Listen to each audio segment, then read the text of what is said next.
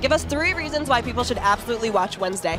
Blood, superpowers, it's fantasy, which is cool. I'd never done a fantasy project before. Jenna's amazing. She's such a wonderful Wednesday. It has that sort of rebellious anarchist spirit, and it's just a really delicious, delicious show. Christina Ricci, Jenna Ortega, Tim Burton, and uh, a bonus.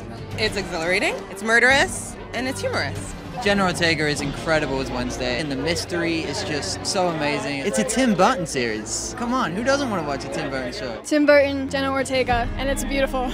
The score is amazing, I know that. The directing is fantastic, and the acting is pretty good. Tim Burton, Jenna Ortega, and the Addams family in a new 21st century way. Watch it for Jenna. It's very entertaining. If you got like a dark sense of humor, you would like it. It's so incredibly creatively fun. It kind of spans generations. I'm the coolest in my family because I get to play Morticia.